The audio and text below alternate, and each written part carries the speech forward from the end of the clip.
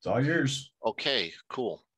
So just really a quick uh, review from uh, Tuesday. You know, I wanted to make sure that everybody understood how the and why the markets were designed and how they used to work and um, the true purpose is that they're for commercials or to to remove their risk and we are assuming that risk.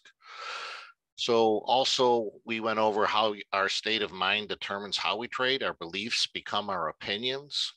We we can don't live in statistics. We use them you have to respect them but you cannot rely on them if you don't know what it means that you're doing, don't do it. Don't assume you know what it means. Go out there and read it. You could be putting yourself in financial jeopardy every time you do something like that. You need to think about the other side of the trade. Prove why the other guy is right, not why you are right. Uh, confirmational bias is a a big issue with new people coming into the market. So you have to step back and say, well, why would they be taking the other side? If I want to be a buyer, why do they think it's going down? Why do they think it's gone high enough and they're getting out? So you have to think about why they would be doing that, especially in the type of trading we're going to get into over the next uh, few days, few sessions. This is not 50 50. It's a multivariable environment. Therefore, the odds are not 50 50. So I showed you how to look at how the market is on the supply side and how the demand side is operating in the picture of how the, the pits used to be. Today, we can look at it in a little bit different way on commitment of traders that the short side of the commitment of traders are supplying to the market. And the long side is the demand in the market. Okay, so we did that last week. How we think, this is the problem right here cognition. That's what science says thinking is. And in computer terms, they say it's giggle, garbage in, garbage out. The best trading system you're ever going to have is sitting between your ears. Stop looking for one and start using the one you got. It's sitting between your ears. 94 to 98% loss ratio in the commodities trading means you have a 2 to 6% success rate. The garbage in, I covered in the last session. It's rigged, designed to take your money. It's 50 50. Your win loss ratio has to be 2 to 1. So let's show you exactly why you will hit the 94 to 98% loss ratio in commodities trading. So, okay, direction is 50%. And I showed you that the implied probability of hitting a, a two to one target is only 33% that you'll get to the to the profit side. You have a 33% implied probability that you will get to the two inverse of that is 67. You have a 67% implied probability that you will get to the one first. So if you can't get to the two, if there's lower odds that you're going to get to the two, then what are you going to hit next? You're going to get to the one. So if we take those implied probabilities, we can calculate them out 0.5 times 0.67 times 0.33, which leaves us with an 11% implied probability of success or an 89% implied probability of failure. Now, the math geeks in the room are going to say, well, you shouldn't have the 0.33 there. Yep, I get it. But I wanted to ask about what is the other variable? The other variable is your chart. The fourth variable, the very tool you are counting on to, to make you money is also the fourth variable. And if you only ever, a new trader will do exactly what I wrote here. They're to, oh, look at this beautiful trades that I can take on a five minute chart. So I'm going to open my account and I'm going to do this and then they make some money. The hook is set. Then they take two or three losses and they can't figure out that. So they're going to go back and research why they took their three, two or three loss, losses. And now I'm going to use a three minute chart. And oh my gosh, look at this. We got the grail of trading right there on the three minute chart. And that entire win, loss, win, loss, loss, loss structure starts again. So what do we do? We go and find the Renko chart. Now we've changed it again. But even if we just say you're a very smart person and you've only changed that chart one time, that's 50%. 50% of the implied probability of being profitable, okay, means you only have five and a half percent probability of profit, which is exactly in line with the indie industry ratios. You're sitting right square in the middle of the industry ratios of being successful in this marketplace. So, oh, well, you included the 0.33 to make that statistic work work mathematically. No. You're going to hit one or the other. The odds of you hitting more losses, it shows it there. You're going to take way more losses and the two is not going to is not going to make up for what those losses are incurred because you're going to be taking them so many more times. And people think it's actually structurally supposed to be the other way around. And even if I take out the 33%, all you got to do is change your chart one more time. Instead of changing your chart once, change it twice. And now you're your loss ratio instead of 5.5% probability is at 8% probability of profiting. Not exactly within the industry standards, but it, it, it is damn close to show you why people fail when they come into this business. It has a low barrier of entry, they're not ready for it. They're thinking about how it should be is not how it is. At the end of the day, clearly I get hostile when somebody says 50 50, and frankly, they should be flogged with an organic carrot until they can do the math in their sleep. It's a healthy thing to do these days. Anyway, context. Everybody wants a context. What's the market gonna do? And yesterday I was sitting here in my office watching the Discord thing go through. And there's this long giant statement that comes up here about, well, if they raise interest rates, then the housing market is going to crash and hence this is going to happen over here. That's going to happen. However, if they do, it had to be like five lines in, in Discord. And I'm like, what? What was this? Mr. Krabs raid SpongeBob's salary too much, and now his revenue is declining rapidly, and he has to increase the price of the Krabby Patties, but the customers stop coming. He's going out of business in his restaurant, and Gary's granddaughter is pissed off because the show is no longer on the air. I got as much out of what that was saying as what I just said. Here, here's my context. Man, those guys were selling a lot up there.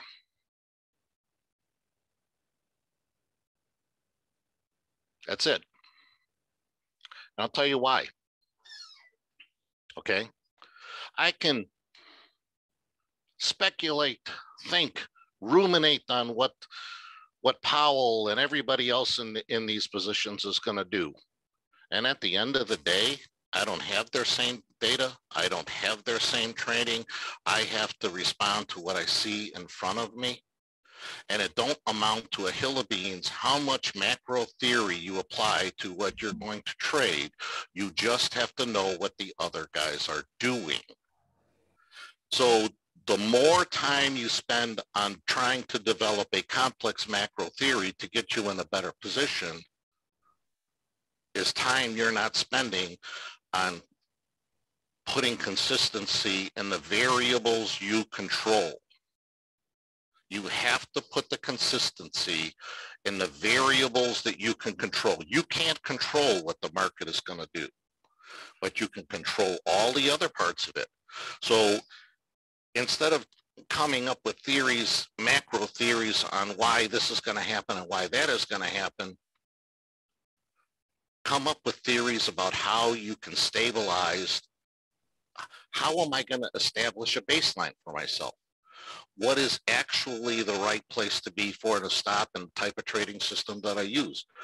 Spend the time on the trading system you have. That's you because Powell's not going to tell you anything. And no matter what you glean out of it, it's going to happen anyway. So what would be the point?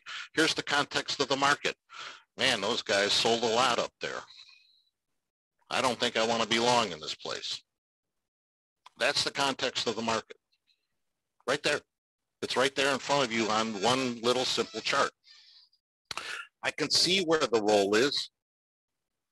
It's easy for me to say, boy, I better be careful on the long side. Hey, Gary. Oh, yeah. Hey, check your mic real quick. I don't know if you're standing close, if you're like right on top of it, or if it's rubbing against your shirt. It's a little staticky for the last like 30 seconds. How's this? Any better? Is that better? Uh, talk. Yeah, I think so. Okay, good. All right, good. So what I'm saying is, is that all of the time that I see putting into trying to develop a theory on how to position yourself is not well spent. Trading is boring. It is extremely boring. And the best time that you can have is to come back and rework your matrix and then be testing. I don't know how anybody else does it, but I, I have a completely separate system that I work through the course of the day to go back and and retest on what I can improve or stabilize my my my uh, variables.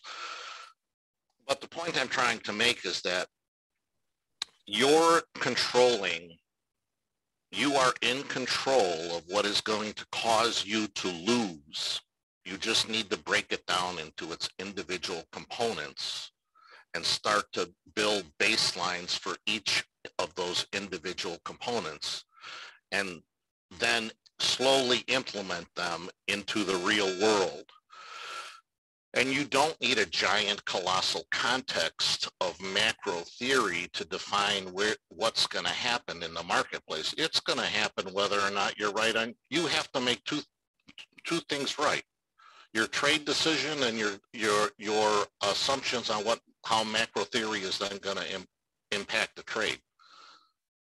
So my context is, man, those guys were really short up there.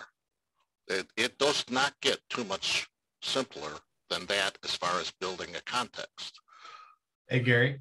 Yep. Try try unplugging your mic and plug it back in. Oh boy.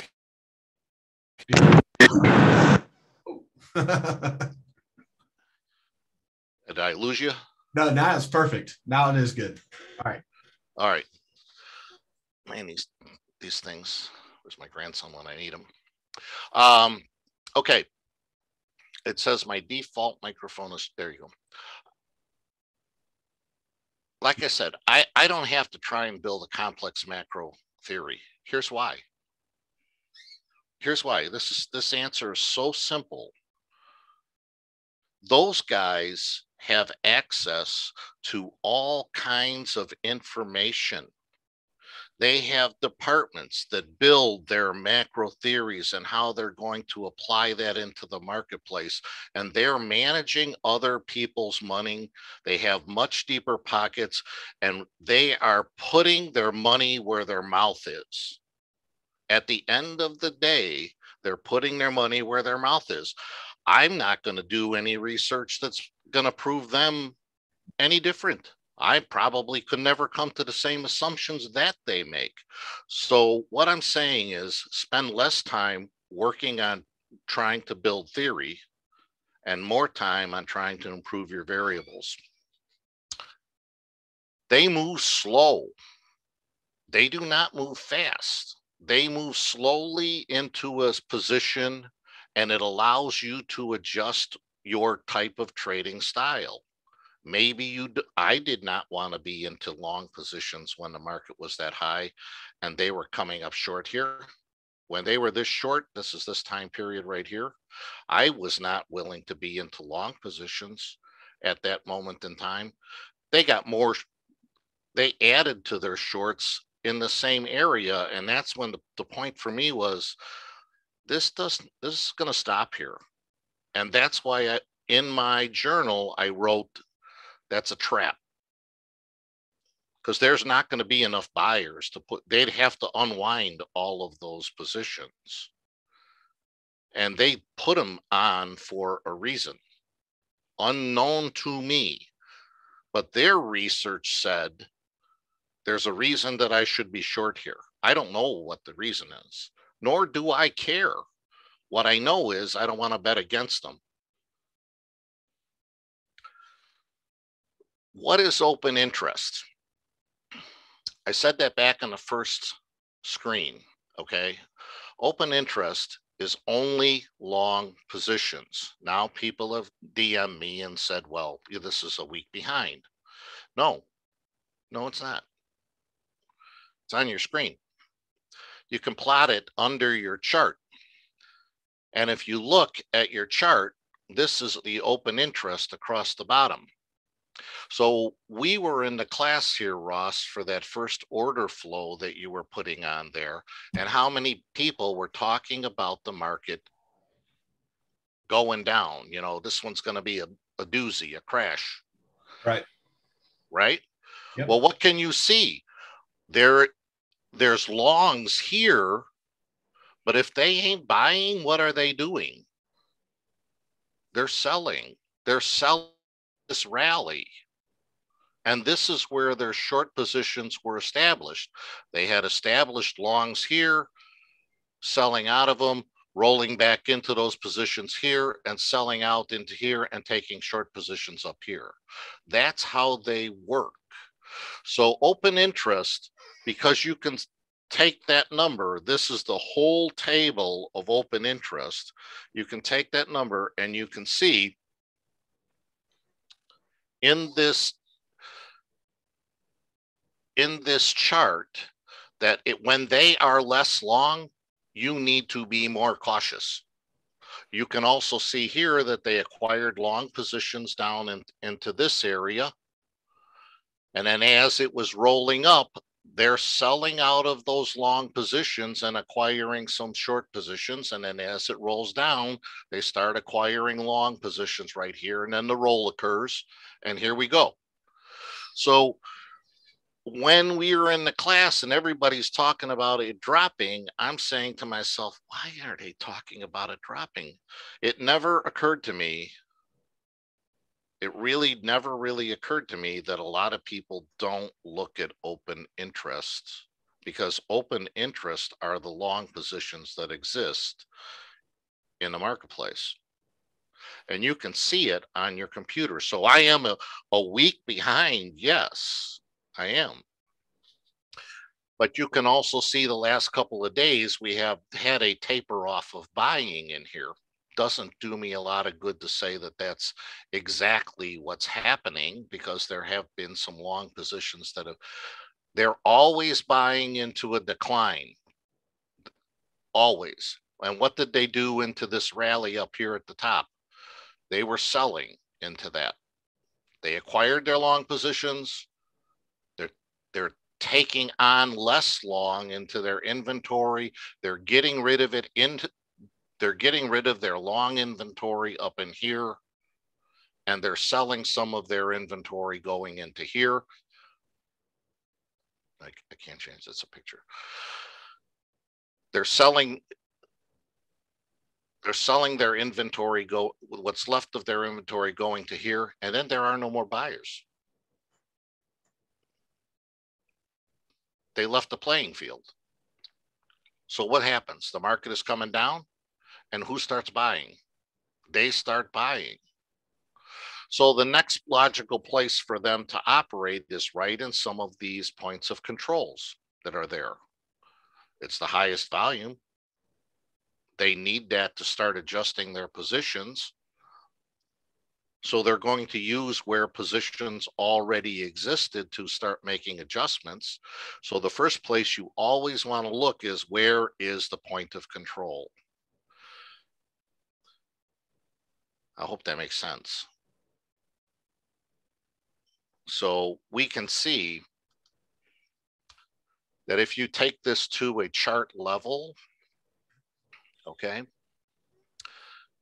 now I do look at on balance volume. It does not have a look back period, but in that same time frame that I was talking about, on balance volume was not confirming any type of a rally and combined with the fact that they were that there were less longs going into that rally going up that high the stage was pretty well set for some type of a bat for a, some type of a pullback in here. To me i've looked at it for a long time but to me these types of adjustments in the marketplace are evident and it gives you a context. If they're starting to buy in here and offset their positions as the market is starting to come down, the answer to me is well, if it was going to go further, why would they be buying? Uh, I, I I would have to. Would you ask that that question to yourself, Ross? If yeah. why would why would they be buying into this colossal decline if it was actually going to be falling, you know, and we were going to run into a Great Depression, like they're touting on YouTube and the talking heads on on uh, uh, financial news stations? Why would they be buying? So by watching what that what they're doing as a whole in open interest because it is only long positions, you can kind of gauge and say, okay, we're going to see a pullback. I don't know where it's going to end, but I'm going to be more sensitive to when open interest starts to increase because open interest is buying. And if open interest starts to increase, and it continues to increase. And then you have an event like this, where there's a massive amount of of buying that has occurred, you can pretty much say we're going to see a reasonable bounce out of that. That's a trade. these are tradable events to my eyes. If you look at how the function of the market is. They they have to do something. They have to reposition. They have other sides in a lot of cases to to the marketplace, and they need. They have. I think Ross always says the market can stay in in a rally a lot longer than you can stay solvent. Something along those lines. Well, you know why? Because they got a lot of they got some deep park deep pockets going on there. Okay.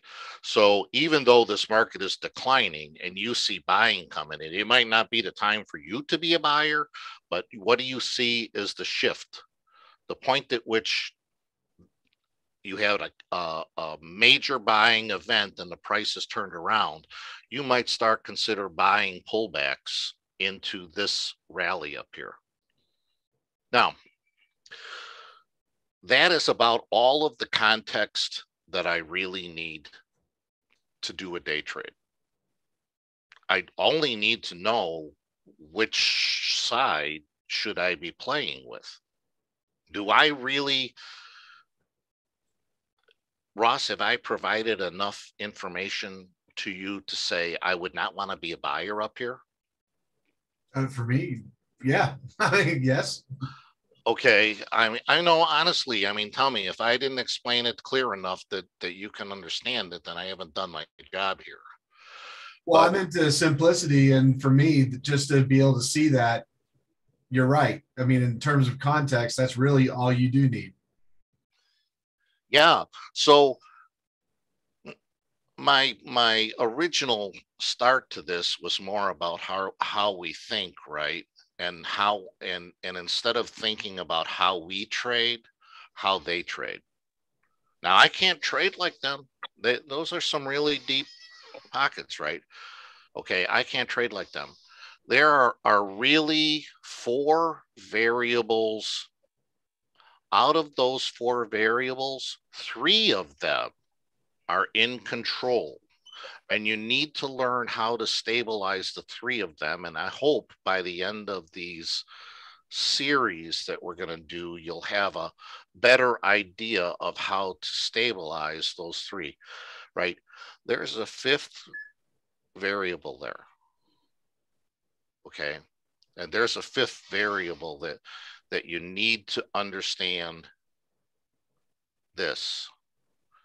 If you are short soybeans and you go to bed and there's a cataclysmic volcanic eruption I want to say it was Mount St. Helens or something like that. I don't remember exactly which volcano it was that is going to disrupt the weather patterns. You got a problem. And when you get up in the morning and soybeans go 20 cents limit up, they ain't moving.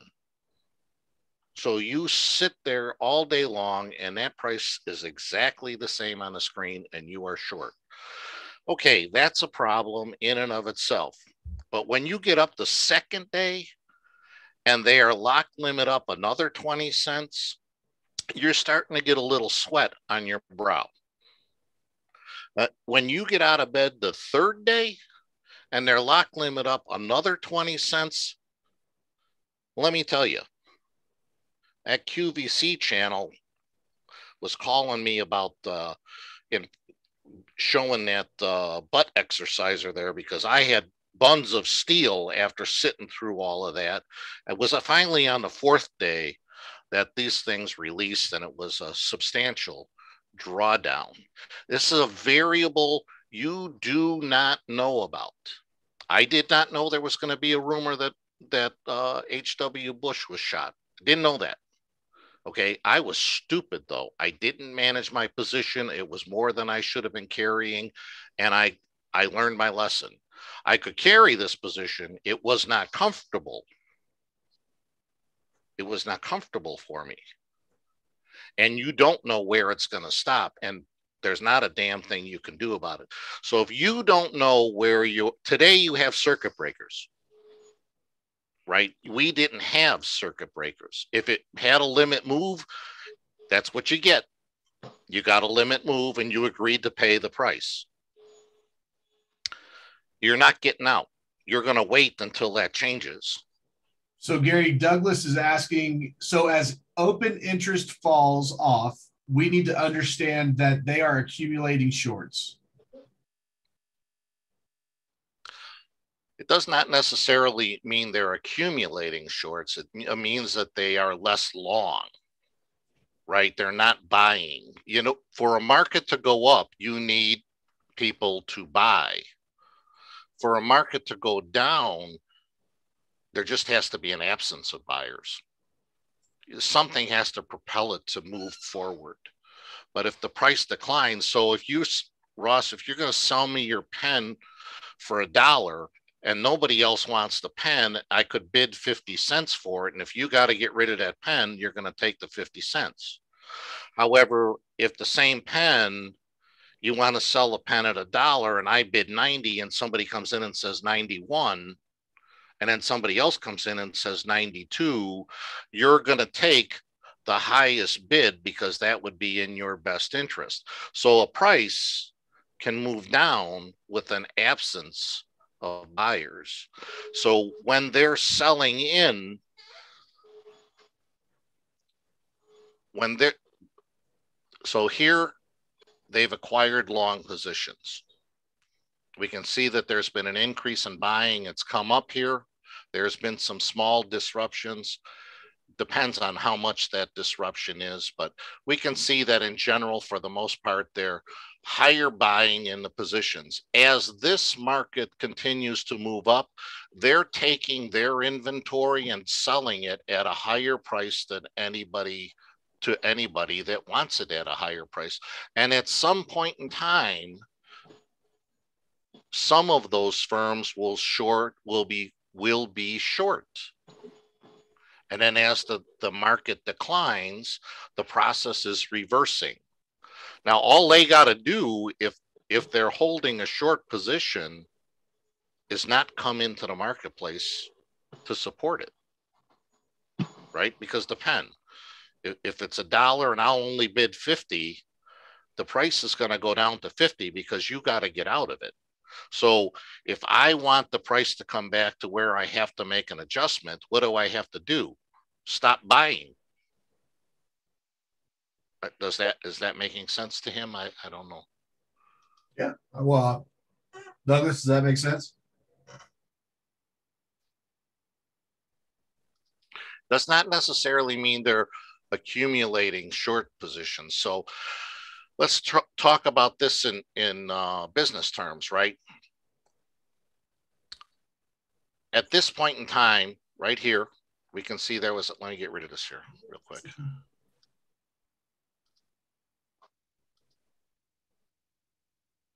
At this point in time, right here, we can see that buying, much stronger buying, started coming into the marketplace here and we really culminated with a, a, a big push down in price.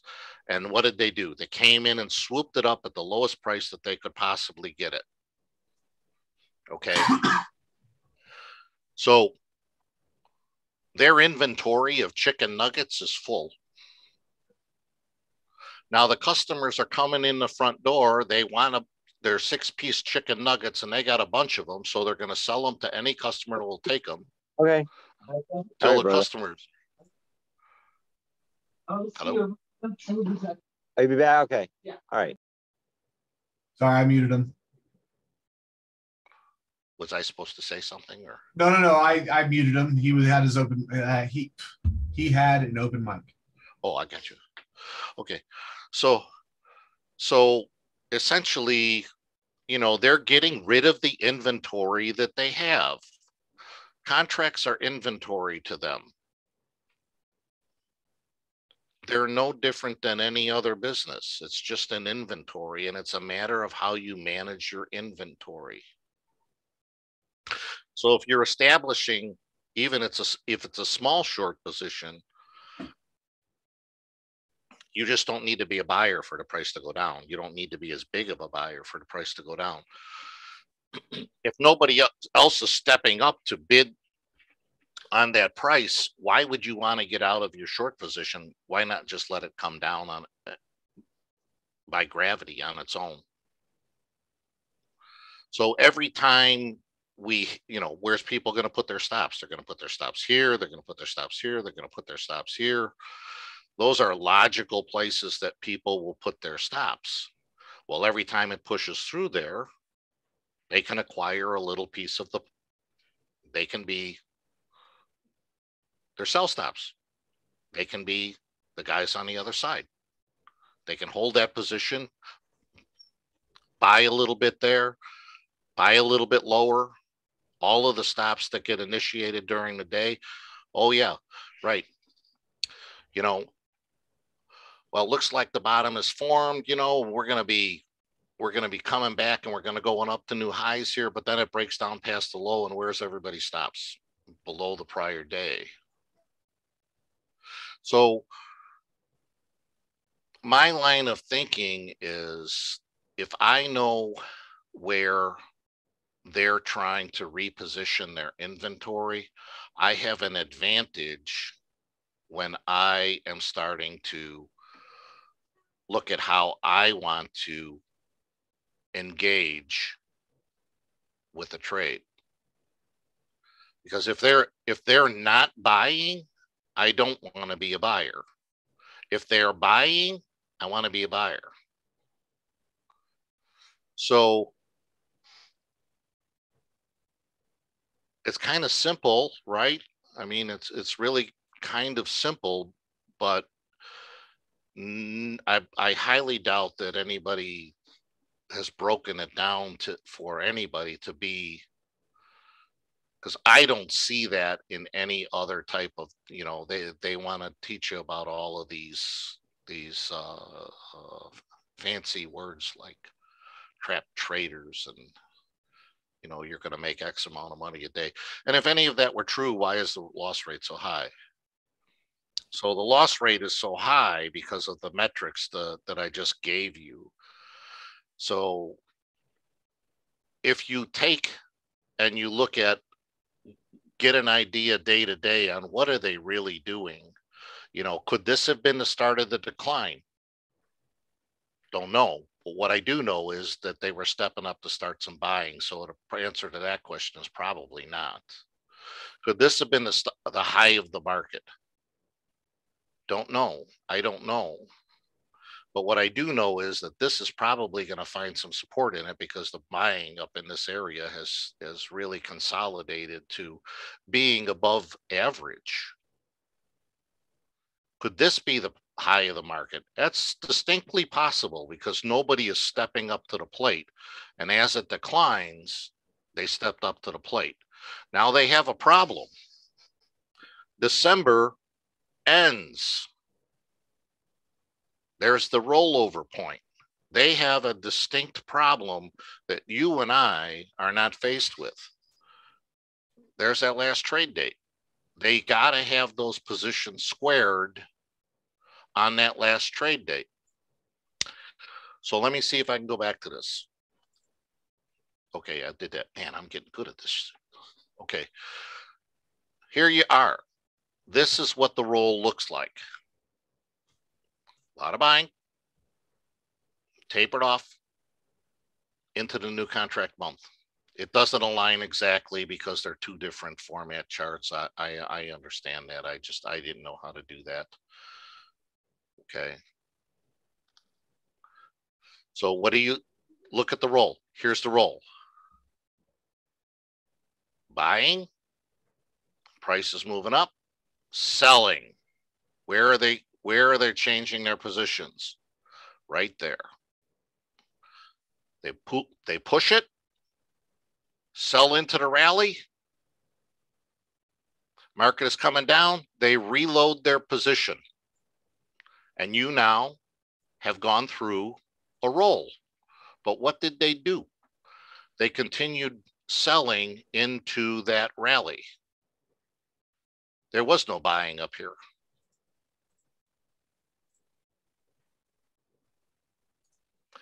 So when you look at who's doing that, you can kind of establish that the, that top is this area here. They continued to go in the leveraged category.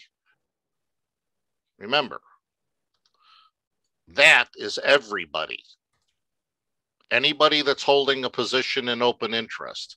And you can see it count because this should be live. Well, you would think it would be counting. I don't know why it is not.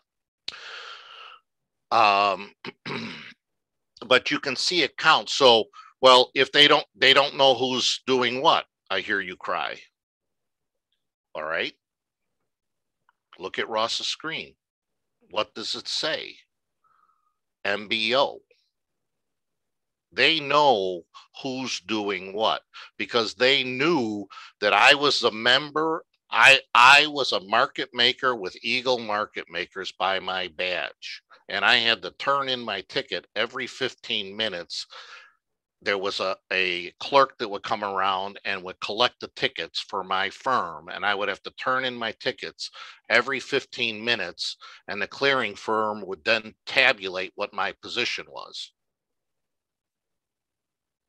So they know exactly who is in what position. And the transparency of today's market has gotten to be so good that you have to make very few assumptions about who's doing what, or very few assumptions about how to build a context on what the market is going, what it looks like it is going to do.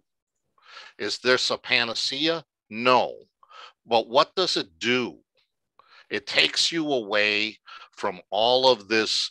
It's going to go to hell in a handbasket. We could expect a 50% pullback. The valuations are too high. Let them prove it to you. If they're accumulating longs into the last 10, 12%, I think it's been 12 and a half or 13% pullback that we've had, they're interested in being long. They're not interested in waiting for the market to come down lower. If they were interested in the market coming down lower, they wouldn't be buyers. As a, a complete category of positions in the market, there's a lot of buyers that happened on that day. Right here. There's a lot of buyers that happened on that day, more than we've had in a long time. And I, I think that I actually said it in my journal that it was the highest amount of buying that I had seen. I'm not sure where it went. Um, oh, I don't have the bar chart up there, but it was the highest amount of buying that I had seen in a long period of time. Well, that says something to me. Why is it so strong? If the market is going to be declining, why would the buying be so strong from companies that that have a better opportunity to build a macro environment scenario that they're going to use to trade their customers' money. So when I see all of this macro stuff being batted back and forth, I, I have to ask myself, I mean, what's the point? Hey, Gary, uh, Maz is asking if you recommend the open interest bars on daily, the open interest study on daily charts, or does it's it the only place that's really valid. Okay. You know, I mean, you can you can plot it on weekly. That's going to give you obviously a a, uh, a similar but you know greater volume uh, in uh, of the bar. Yeah, sure.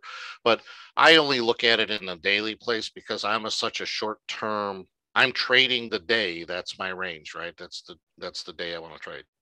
You know, so my context, my point here this evening is that I'm taking the information that I'm seeing in Discord and I'm saying, you know what, you might want to think about it this way because the information that's being posted there and the amount of time that is taken to disseminate that information is taking away from productive time to control your variables. Are you testing what your variables are?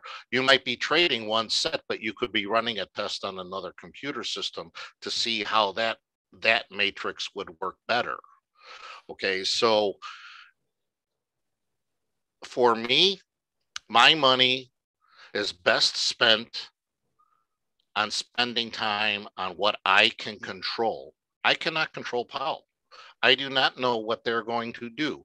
And when you really get right down to the macroeconomics, I think that the Fed funds rate was like four and a half percent, and the NASDAQ was at all time highs in 1999 or whatever it was before the bubble. So interest rates have an impact on weak companies not strong companies. They have an impact on weak companies because their balance sheet is heavier in debt.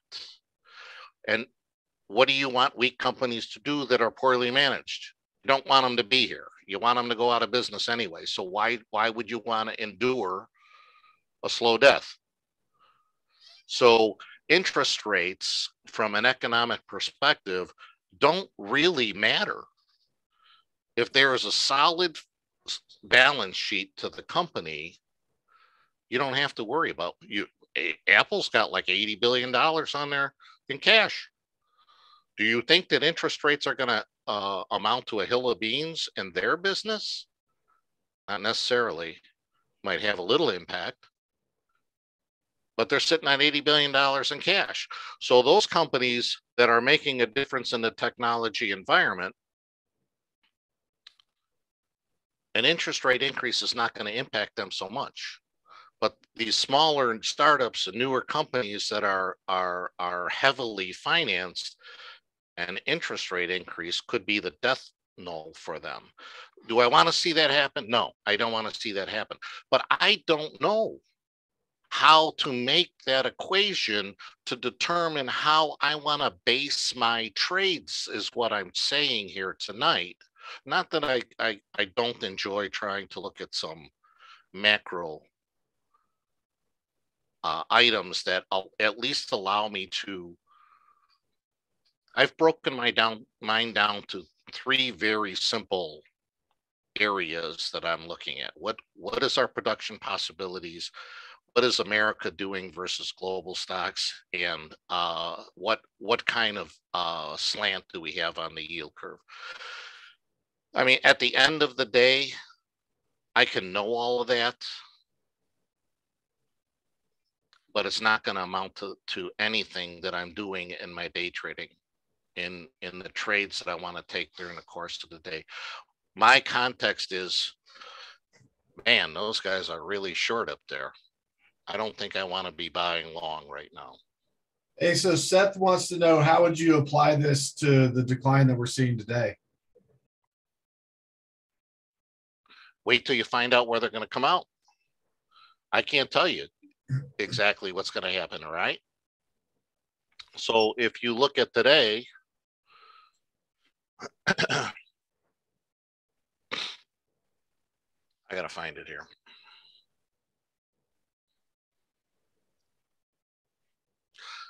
How I how I view the market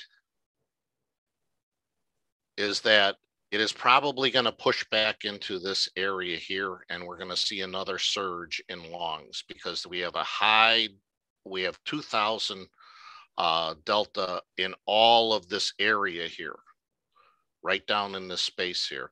They need volume to adjust. You got higher volume here. You could see it push down into this space. These are the spaces that I would be looking at.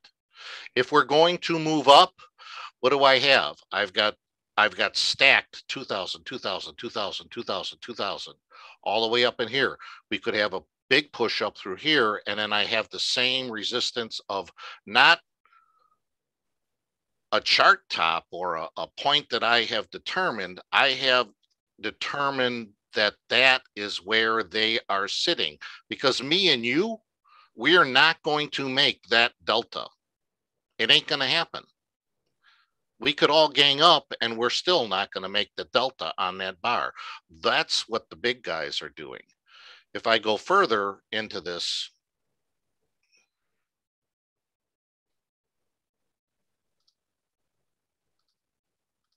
and I look at where the volume is, now we bring in the volume here. Well, I would say that right here at this point, I don't know if you can see that, but right here at this point where I'm rolling my cross is an area that I would be interested in watching on a smaller time frame to be short. Down here, you know what? Uh, it might float through through past that, okay? But what I definitely will be watching it is as the days go by, are they accumulating longs? Are they accumulating lo long positions, which means this is going to be going up like it did today, right? But we had a very sizable down day but there were more long positions accumulated in the mar- marketplace, even though it went down. So you have to let it tell you. It's there's no prediction tool to trading. What do I know? I know that I have a lot of volume that occurred right in this white space right here. I know that I have a lot of volume on individual prices. This is at a price point. These white lines are at a price point. Those white lines are at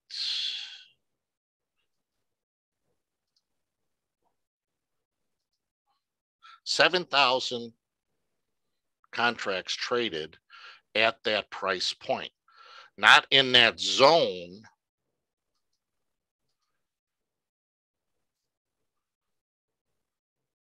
at those price points. There were 7,000 at each one of those price points.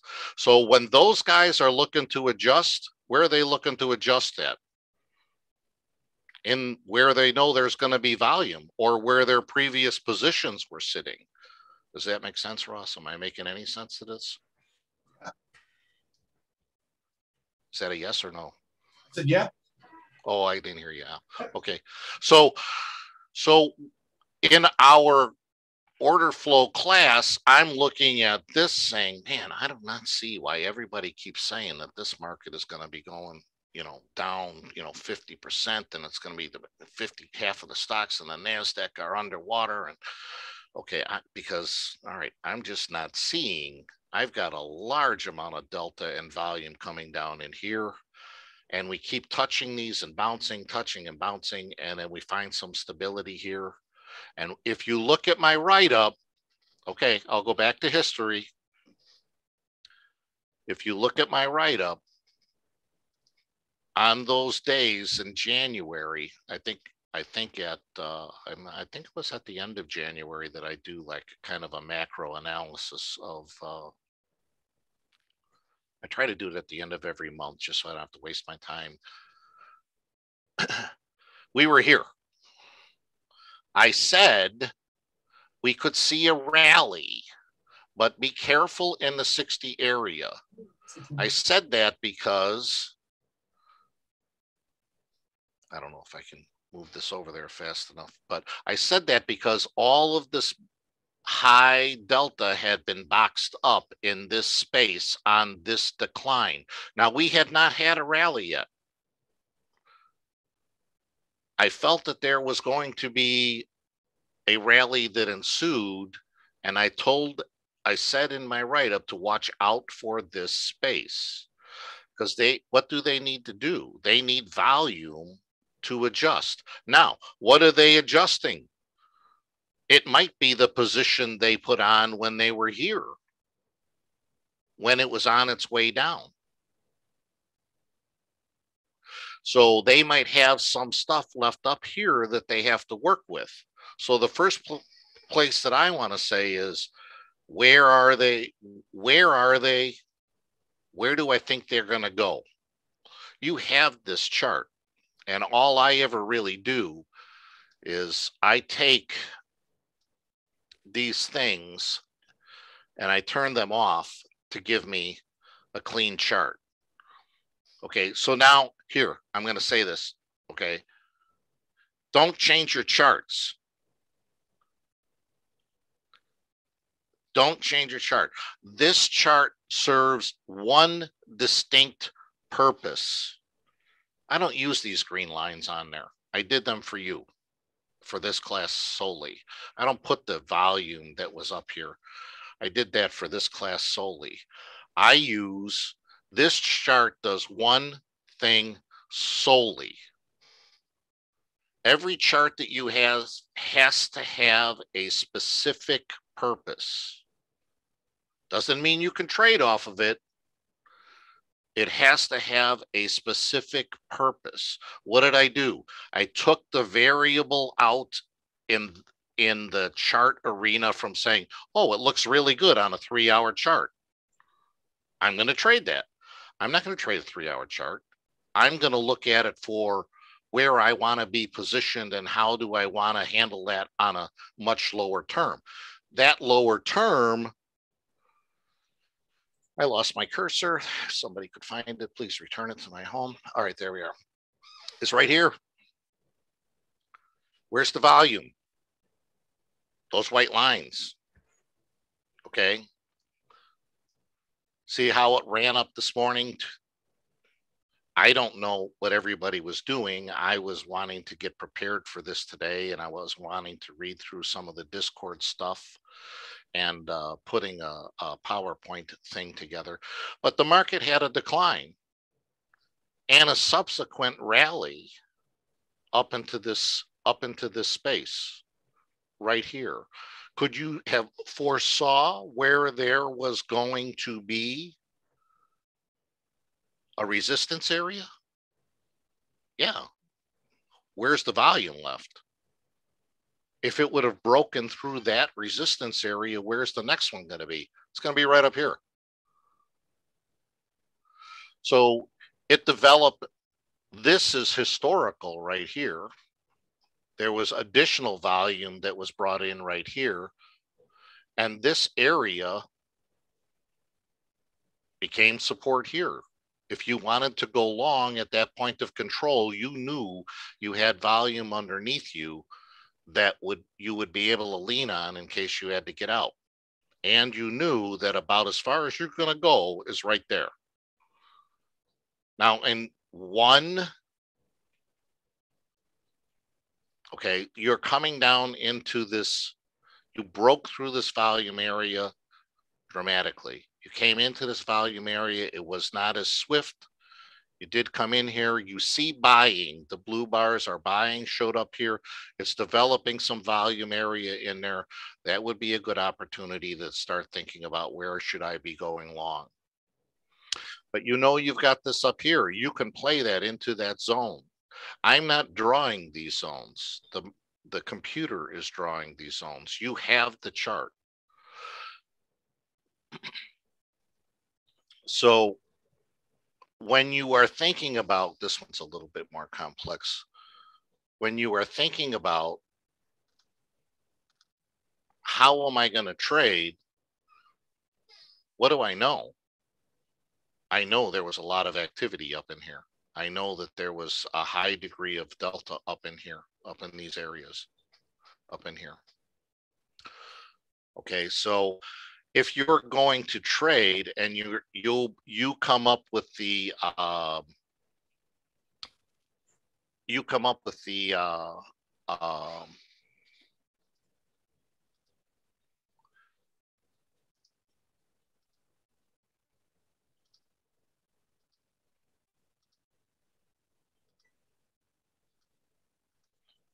and you, your analysis says, okay, I, I have some specific areas that I, I see that are going to be a supporting area or a resistance area. I cannot tell you how to read today.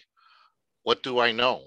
I know I have a high delta area down here. It's at least at 2000 contracts traded in this bar at this time on this price. I know overhead that if we come back up and we, we get into this space here, that we could meet some resistance here and it could present an opportunity that I should be looking lower to see what's going to happen when it gets into that area. What don't I change though? I'm not flipping from a five minute to a three minute. I'm pretty much saying, okay, well, these are the areas that I want to be in.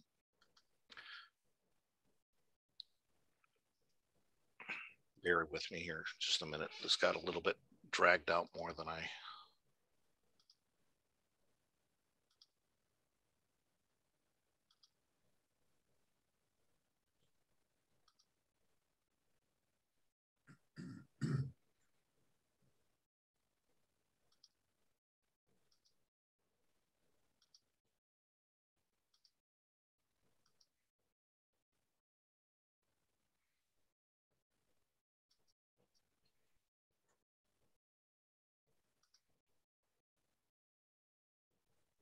Gary, are you talking?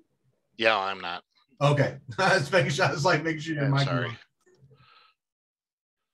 And Oh. um, Dave McKenzie wants to know: Do those zones get invalidated when we go through them? That we're on the smaller chart. Yeah. No, I'll use them as many times as I can see people taking positions in there. So if, if I wanted to invalidate a zone, if I wanted to have it to invalidate uh, a zone, I'll show you that. Well, if depends on if everybody's willing to stick it out for a few minutes. You know, I can't I can't chew up their time here. That's the chart you see when I publish where do I want to be? Okay. So if you want to start building your zones, you take this chart. Let me turn this open interest off here. That's that's what I was hunting for. Excuse me. There's the volume. But this volume, because the duration of this chart is now uh I think 20,000, 27,000 contracts traded at that across those price points going back. So across these lines, 27,000 contracts traded. And I go back uh, to about the beginning of the contract because they they're they could be holding positions to about the beginning of the contract. Now, you get into this type of an area here, you've got a lot of space here where there is a larger amount of volume that's happening in here. But what do you see? Is this going to be an area that they're really going to be working in because they don't have anything to offset? I don't know. I don't think so. So I really kind of think that what I would do is I would look at doing something like this here and saying, let's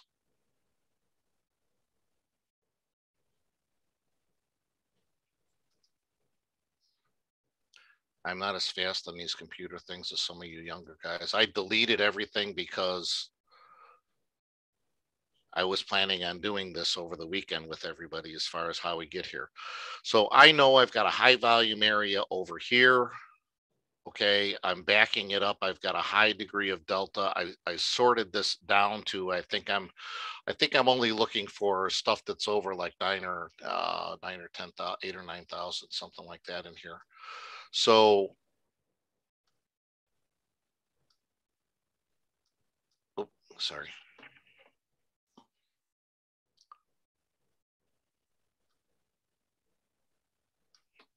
What do you have? Poorly tested point of control right here. You broke right through those levels right here. It's coming up into this volume area right now in real time price, but there's not a lot of, it's developing a low volume node. I am willing to say right now I'd be interested in that area. Maybe not today, but tomorrow morning. As far as being short, I will always be looking for a high degree of delta of plus delta over here. Why? If they're still hanging on to those positions and they have to offset them, they have to do what? They got to sell.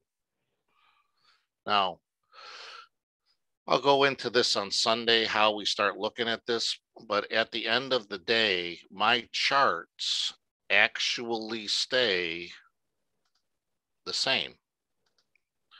I can take and I can apply delta in these charts and find out, okay, well, where are they? We've got delta up in here. We're Okay, we've got all of this negative delta sitting right here by that point of control. You see those red lines? Okay, where right now we're coming into that particular space for the bars that are on this chart, there's a high degree of negative delta that is right here. They're going to have to do something if there is an existing position that is sitting there. Let me see if I can find a space to make it clear to you that this is. So here is an area that I believe that I had marked as far as where the there was going to be some type of a reaction. I really like to see a reaction more in the negative delta area on underneath the current price instead of looking uh, up above it. But let me see, there was one particular area that I wanted to note in the class that I'm not seeing right now. But it went straight across. It, it went straight across. It st started out with like 8,000 buyers. And then there were 3,000 sellers. And then it came back and there were 8,000 buyers. And it kept bouncing right around there.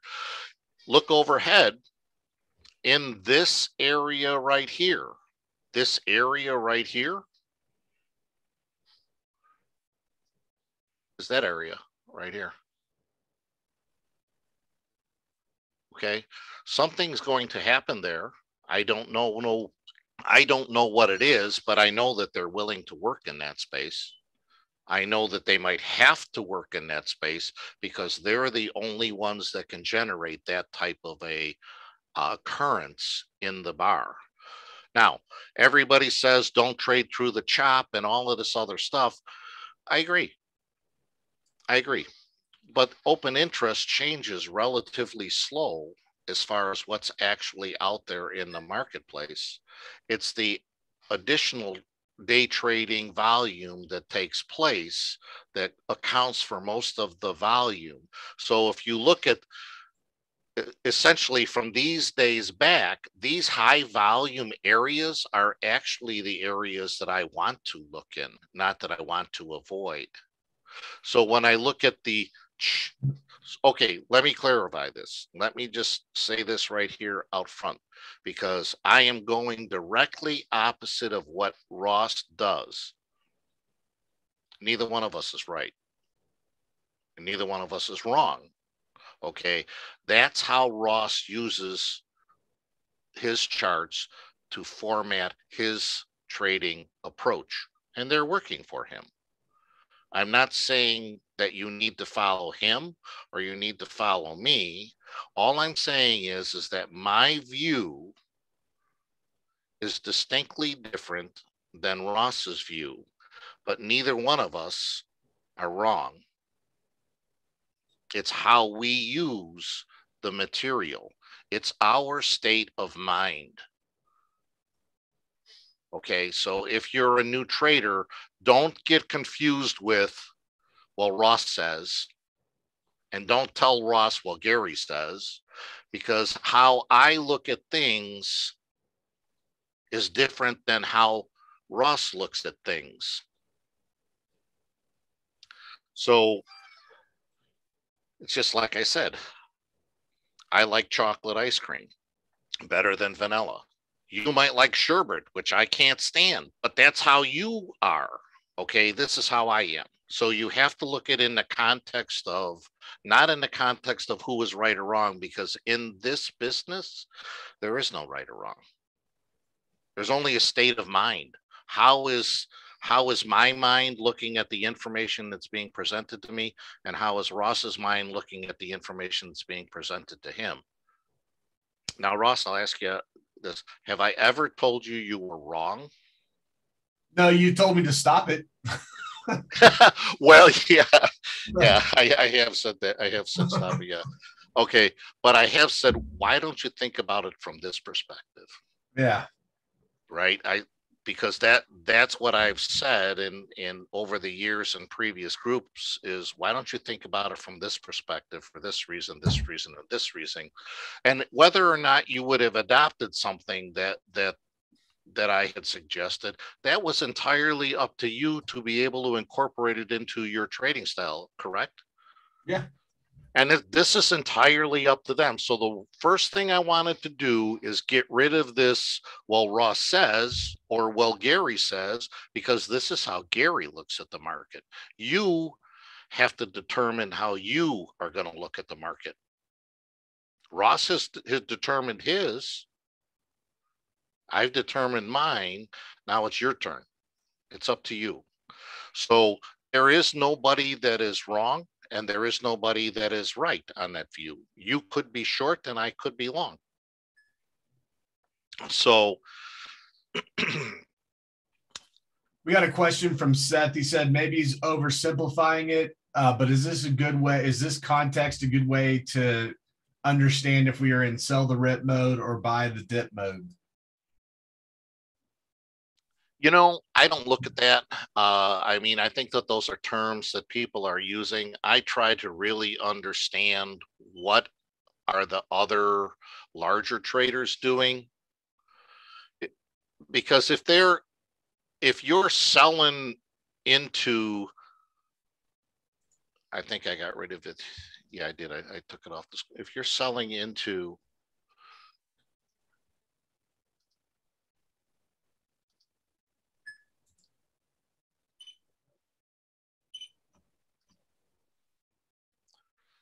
So my belief is this was a rip, okay? But it wasn't a rip down that I was willing to participate in because this was also a rip down, but they were buying into it. So I would rather have set back and said, okay, there's this is pushing down but there's an accumulation going on here and there's a high positive delta coming into this place because this bar is exactly where you're going to get stuck selling into that rip. That's where you're going to get stuck. So I look for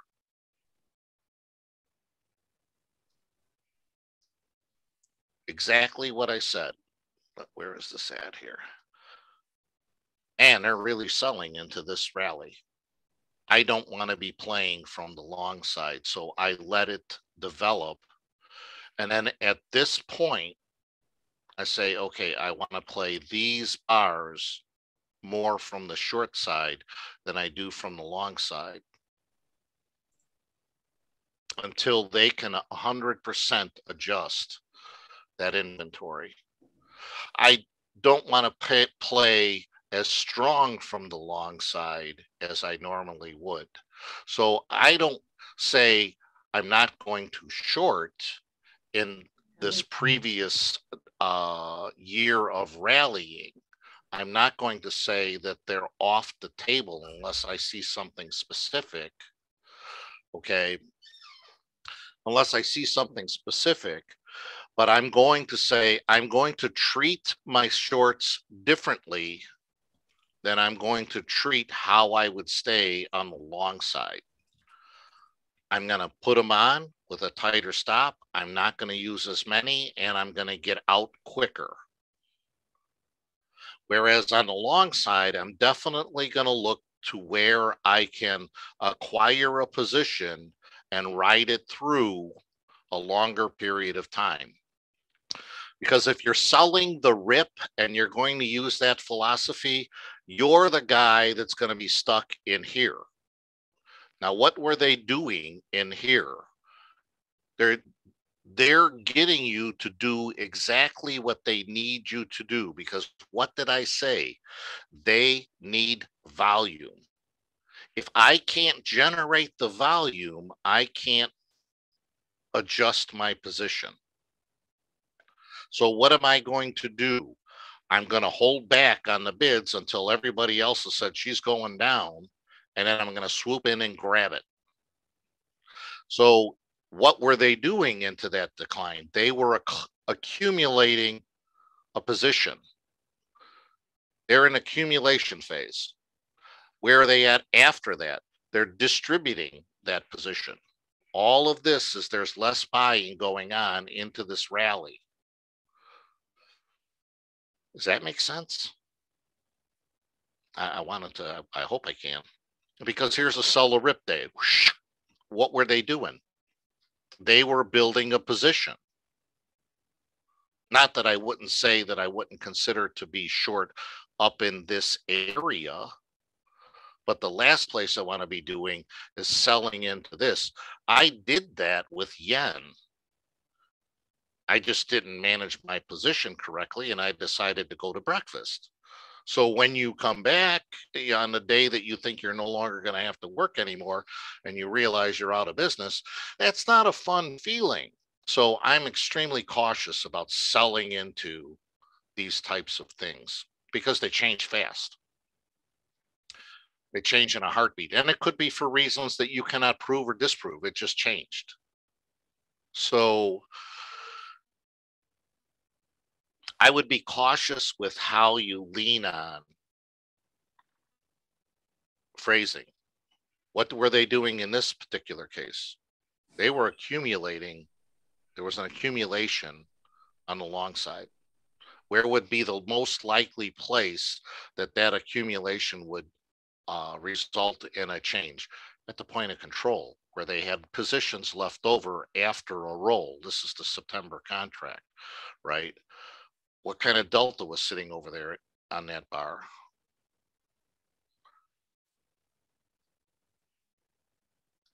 Okay, so here we are. 5,000, 6,000, 6,000, 6,000. So they had some volume in here. Something needed to be adjusted. And how many days after a roll is it? About three, four days after the roll? Okay, so they have to take their current position. uh, what am I doing? They have to take their current position in here and move it over here. If take the current position that was here and I got to move it over here. So how are you going to do that? Well, you know, essentially you're going to do it with a calendar spread. You're, you're just going to spread out across this area here. But where does that leave you? In the opposite side of the position on this side of the bar. So they adjust. That's all. That's all I'm saying. Does that make any sense to anybody? Yeah. Uh, I mean, I want it to to be, I don't know. I don't know about the others, but I'm going to go ahead and answer. I, I, I want it to be able for people to come back and, and take some pieces and implement them. But the biggest piece that I wanted to show people is why you will lose. Why will you lose? Because of the things that you're controlling that you think are wrong. You think your chart periodicity is, is wrong. You think that you have to have two to one. You think that it's only a 50 50 solution. Throw it out the window, erase it, get it out of your brain. None of those things matter in trading. They didn't exist when I started. If you really think about it, if I'm able to buy the bid and sell at the offer, and my my my my position was for buying a seat was that I could capture the spread between the bid and the offer, and I was the guy making the spread okay? Do you think that my profit was two to my profit and losses were going to be two to one? Absolutely not. Absolutely not. So you could spread across buy the bid sell the offer buy the bid sell the offer buy the bid sell the offer until you see the orders coming into the pit starting to change and then you could just hold on whatever side you were on and wait for the market to move in a larger move carrying you with it so,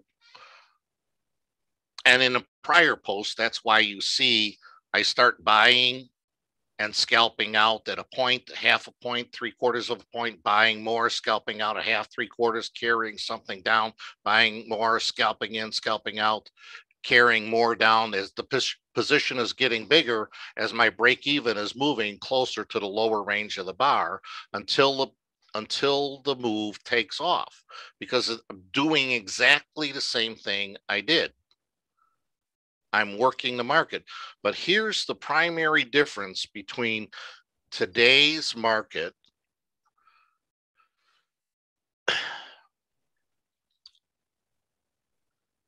here I made the bid and the offer. Right? I the farmer had to sell it to protect his risk on the downside, his crop going to zero, so he's selling the futures. He knows what he's going to make. It's preordained. He knows what he's going to make. Nabisco had to buy it to cover their cost of wheat running through the roof in inclement weather conditions or that volcano exploding. And their risk is covered because their wheat things are not going to be able to be priced that much higher in the marketplace because people won't stand for it both of these positions can be adjusted if the market were to change in positions somehow that would only be favorable to their side. But who was making the spread? I was making the spread because he's got to sell it. I'm I'm buying, he's selling at the bid and I'm buying it. Now I want you to understand this concept. He's selling at the bid and I'm buying it.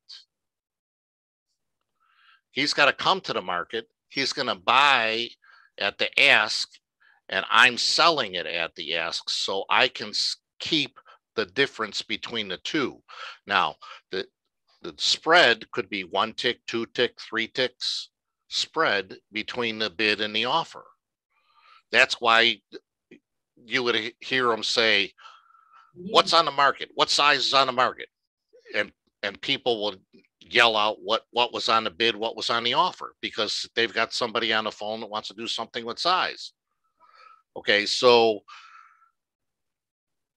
if you go and you look at today's market, let me see if I can do this real quick and then I'll let everybody go to their families. I know that uh, I am a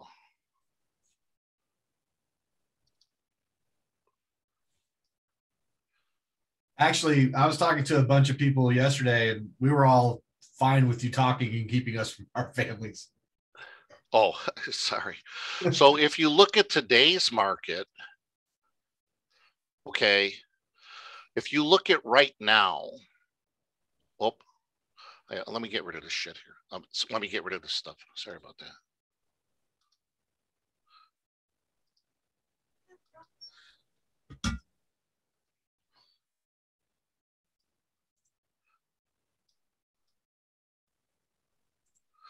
Okay, so if you look at today's market right now, the market maker now is not me.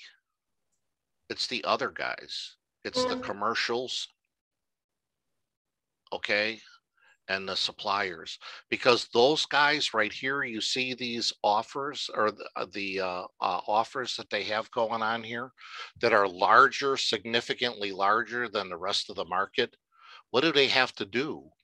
They have to adjust in this zone. This is the night ETH trading. There would nobody be putting those offers out there if they didn't have to adjust something in that price. So their bids and offers that I can see in in ETH tell me there's a position sitting there that somebody has to do something with. Now, what's the order? Is that going to turn into an iceberg? I don't know. I don't know that. I, I can't tell you that. What's the order? If it's a market if touched order, you see it happen that somebody's using a market if touch order that's being backed up by an iceberg because every time it goes to that point, a hundred will hit and the market will drop. And then it'll rally back up to that exact point and its market if touched becomes a market order. It touched what is that price? 44.15. It touched 44.15, it becomes a market order, the price goes down. The incoming order stops, the price rallies up, the market if touched gets hit again, another blow batch come through, it's, it was touched, the market goes down. So they're achieving a better price instead of just dumping a lot on there that might drop it by two or three points if you got to get out, you got to get out. That's those really fast moves that you see in the ES. But a lot of times you'll see it hit a point drop, hit a point drop, hit a point drop, hit a point drop, hit a point drop. That's because they're using a market if touched order. They're controlling how much they're putting on that bid so they can get better fills because they know they're going to drop at a point. So why why would you not want to use a different order type? If you are a larger trader to do that. Because otherwise, if you're going to bring on that 1500 lots, you're going to, you know, your average price could be two points lower than where your order was. So what do you do? I'll give you 200 on market of touch. Two hits this price, 200 go in. Comes back to it, 200 more go in. Hits that price, market of touch order is sitting there, 200 more go in. So in order for them to control their positions, they're using different methods than we use. Okay. I, you know, uh, but so you can kind of see where I couldn't, you could not see those before. You could not see those before. And I was the guy determining what the bid and the offer was. Right now, I'm on the outside of the pit and I'm hitting the bid or lifting the offer. Whereas before, it was the commercials and the market is designed for them. Who now has the advantage? They do. It's been switched. They can make the market by adjusting their positions, and we're going to trade between them. The real key is to find out where they live where are we living today? Now, when I put those zones out there, people contact me, do you put a limit order? No, absolutely not. Absolutely not. Absolutely not. I mark an area that I believe has a large amount of orders and a large amount of delta, that something would have to be adjusted. It may not be. It may not, I may be wrong on, on those assumptions. Okay. And it may go through it, but up above it, there might be something right? I mean, because here, look at this number right here. You've got 12. Let's see. The market is below 24,000 positive delta right here. They're on the wrong side, technically, right? They're on the wrong side. Well, if the market comes back up here, would you not let it drift through there a little bit to recapture one, two, three ticks in that position before you start to offset it? So the lines that you see on the chart are just the homework that I do that says something is here.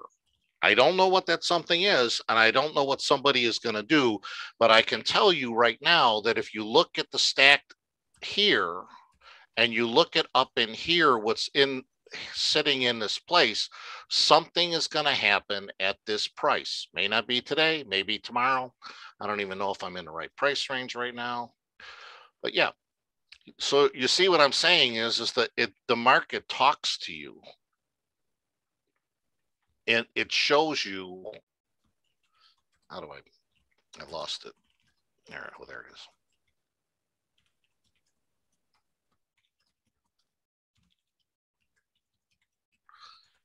it shows you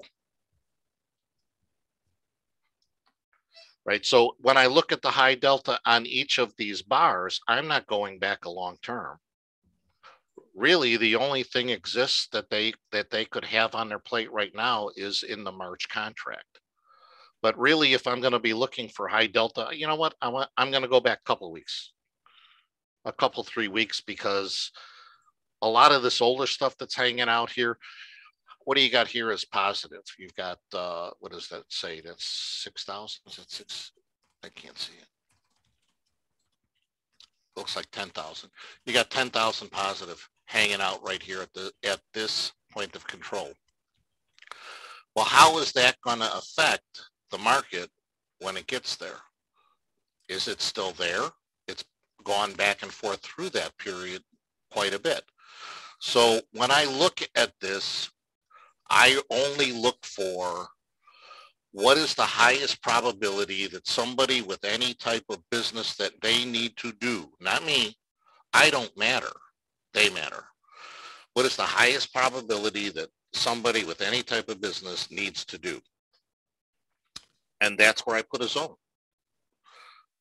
So you can see right here, it bounced off of that negative delta right now. That, now that could be the high for the ETH session or not. I don't know that. I, I don't know that. I don't know what that's gonna what that's gonna be. But the function of trade, well, they're gonna have some trouble getting through this area here because you're bouncing off of a lot of stuff that was in that sell-off from uh, earlier today.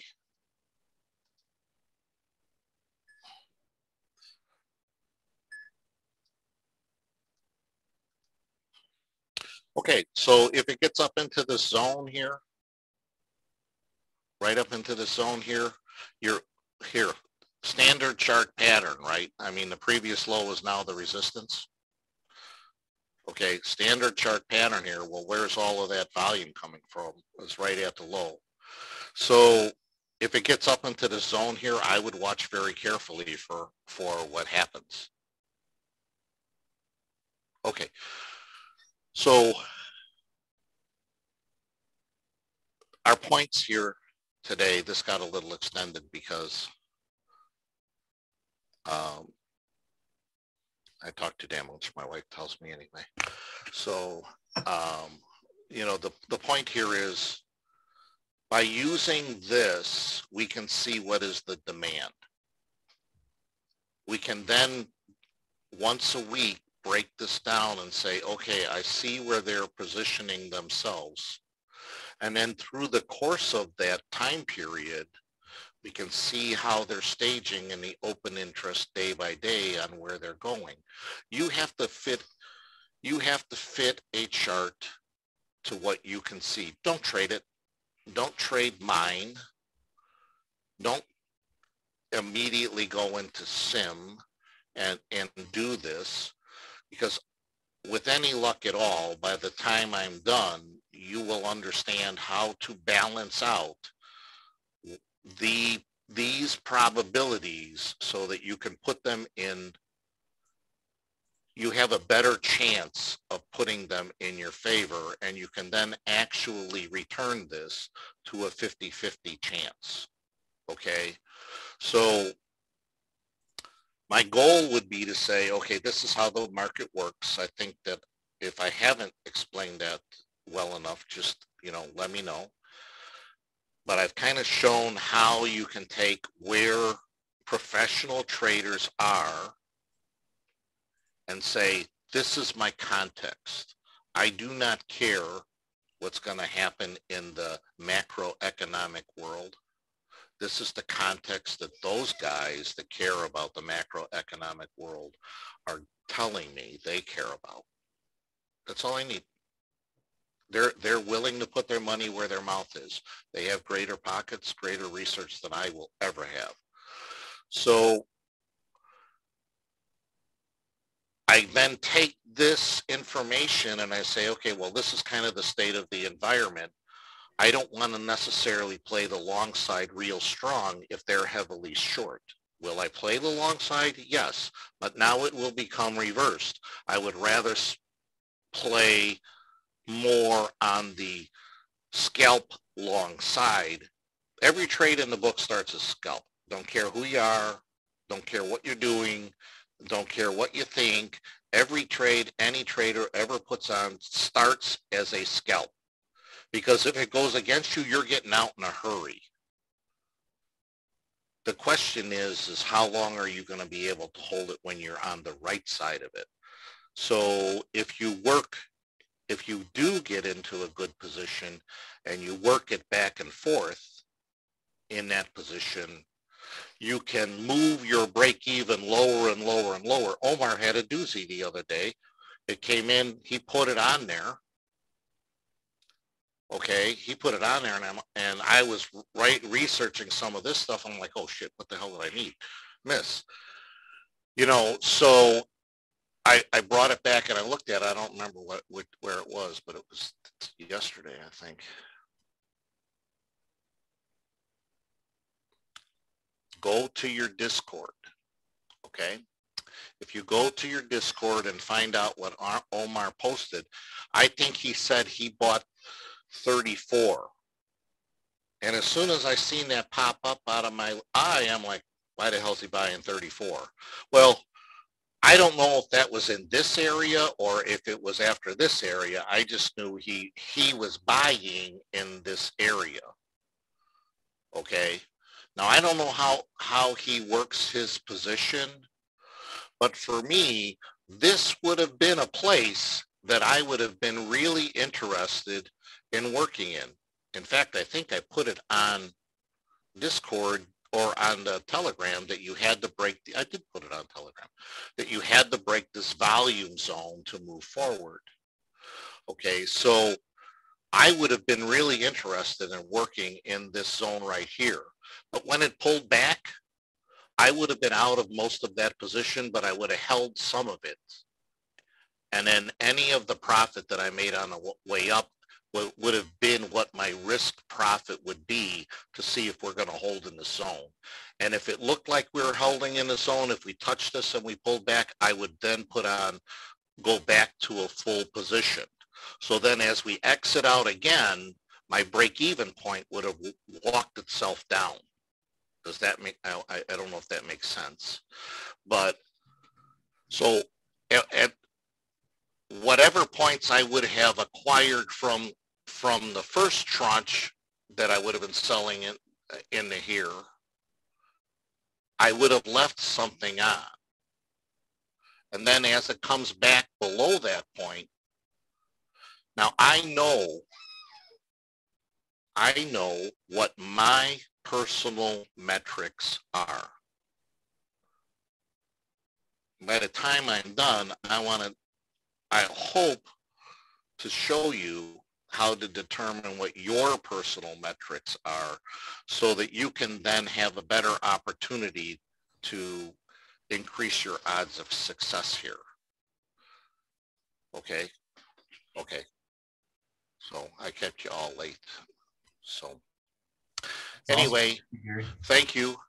Thank you, Ross, for everything. Uh, I, I, will tell you what, guys, I, uh, I could never thank him enough for the opportunity when he made the offer to teach something. I'm like, we didn't think anybody really want to hear about this dry stuff. But, uh, you know, it was very encouraging and uh, I want people to get something out of it. So um, at the end of the day, uh, that's my only goal is that to give you not uh, YouTube coined phrases that you can run away with, but to give you a different format of thinking. Or as I used to say to Ross, why don't you think about that like this? Mm. And then you can apply it to how you how you trade, okay? Because there isn't there you know you got a you have a phenomenal lady in here uh anne with this fibonacci stuff now i'm not a fibonacci girl, person but this girl does some amazing her dedication and how she applies that to to uh, what she's doing is not, nothing short of phenomenal and uh, uh, I, I, I like to see when people have developed something that is working well for them and, and they can they can show that it's working well for them. So, you know, my hat's off to her and I hope that many other people develop out like she has done. So anyway, I'm going to say good night. I hope you all have a good evening and a good day tomorrow. All right, Gary, you too. Thank you so much. Thanks everyone for being here. Uh, I recorded this to my computer, so I'll get it uh, edited and up on YouTube ASAP. It will not take nearly as long. So have a great night. See y'all first thing in the morning. And uh, oh yeah, World War III has been po- postponed until next weekend. That's why we're that's why we're ripping right now. Say that again. World War Three was postponed. yeah, that's why the market's ripping higher right now. Oh, I got you. Okay. Yeah. All right. Well, y'all have a good night. Okay. Yeah, you too. Bye bye.